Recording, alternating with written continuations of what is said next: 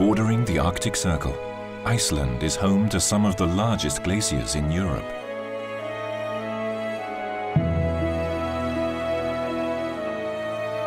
But under the cold surface, the Earth is bursting with heat.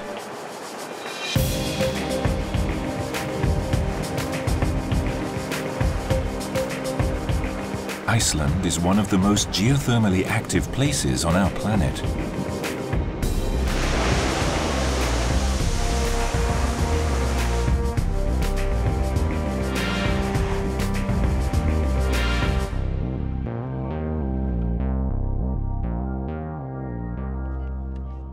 Experts explore the area using a variety of methods to understand this form of energy. Gylfi Páll Hersir is a geophysicist from Iceland Geosurvey. He has studied geothermal fields all over the world. Geophysics is meant to x-ray the earth, to see, see what is going on at tens of kilometers depth. Anna Wairimu Mwangi is part of the geophysics team from Kenya's power utility, KenGen. Yeah, so we go in this direction, to the direction of the smoke. She is in Iceland to perfect her exploration skills by studying with seasoned experts like Gylfi in the geothermal training program of the United Nations University.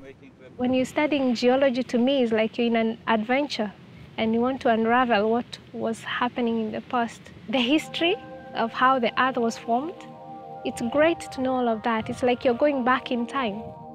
And it's what is fascinating. Iceland's geology is truly unique. It sits on the border of two of the large tectonic plates that form the Earth's surface.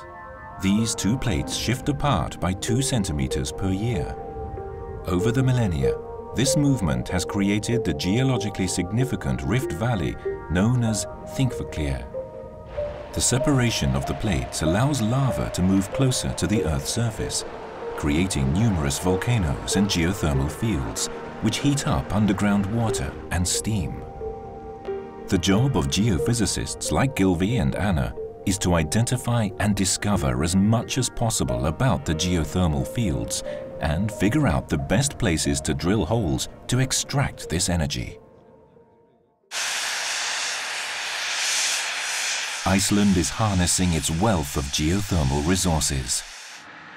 Drill holes up to three kilometers deep tap into high temperature water and steam that shoots up towards the Earth's surface with high pressure. A system of pipes takes the mixture of water and steam to one of Iceland's five major geothermal power plants. The steam and water are separated, with steam used for electricity generation. An international group of geothermal practitioners is visiting one of the plants as part of the UN University Geothermal Training Program. And then the steam is taken here to this uh, small units here. These are also the um, separators, separating the last remainings of droplets from the steam. After that, the, the steam is dry and can be used directly into the turbines. Iceland's geothermal plants generate between 60 and 303 megawatts of electricity each. Anna is part of this selected group of engineers and scientists from more than 50 developing countries. They have all come to learn from Iceland's experience in utilizing its geothermal energy. Around 26% of Iceland's electricity comes from geothermal energy. The plants also heat fresh water, which is transported to towns and cities in pipes, such as this one that runs for 27 kilometers from Nesjavellir power plant to the capital, Reykjavik. The hot water is first stored in big tanks and then distributed throughout the city, where it is used in a variety of ways. Additional hot water is obtained from lower temperature drill holes under the city.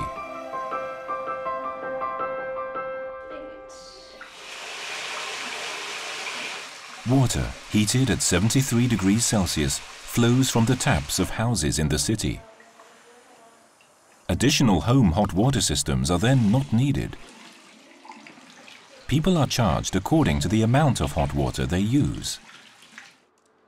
Hot water is also used to heat 90% of the houses in Iceland, not only in the harsh winters, but also in summer, which can still be chilly.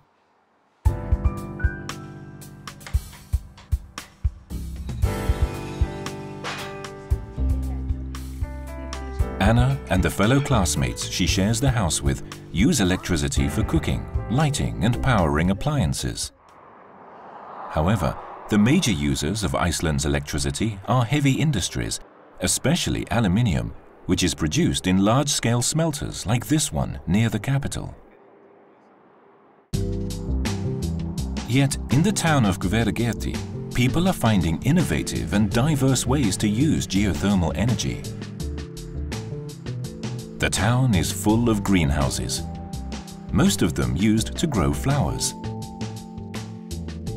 In this research greenhouse, vegetables are being grown.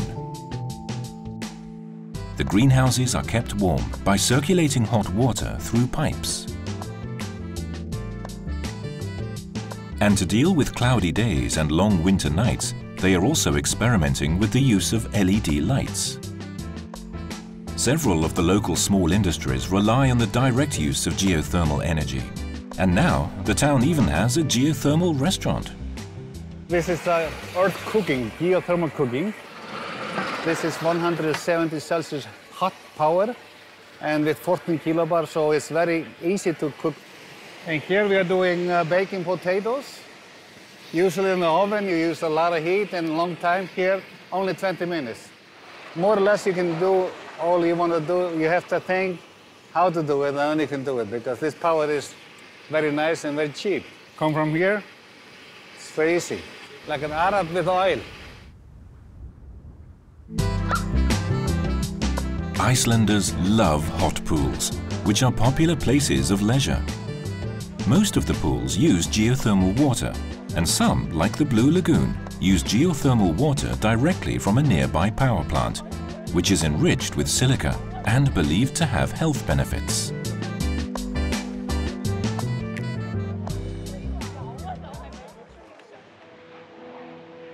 Compared to a number of other power sources, geothermal energy has minimal impact on the environment.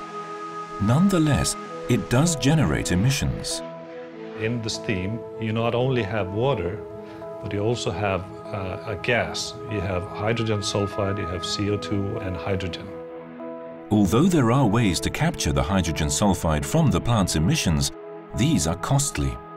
In the power plant, they will separate the gas from the water and then they release the, the gas into the atmosphere. And this is becoming a real problem because the hydrogen sulfide is really corrosive and, and probably unhealthy, in, at least in higher doses.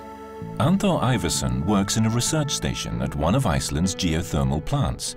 He is developing an innovative biological solution to reduce emissions where a special type of bacteria eats the hydrogen sulfide. They have decided that any future geothermal power plants, at least uh, near cities and towns, will have close to zero emission of hydrogen sulfide. Geothermal water used by households is also recycled. This water is collected in a pipe system and circulated throughout the city, where it is used to melt snow on roads and sidewalks, making it easier for Anna and her housemates to commute to the UN University Geothermal Training Program, a place for exchange of ideas and knowledge. Professionals attending the training center come from diverse countries around the world with great geothermal potential, like Costa Rica, El Salvador, Indonesia, Kenya and the Philippines. They are here to improve their skills and further develop the use of geothermal energy in their home countries. It's very important to expand the use of renewables. And capacity building in uh, renewables energy technology is very necessary, and especially in the developing countries, because that is where most of the uh, increment in energy use will be.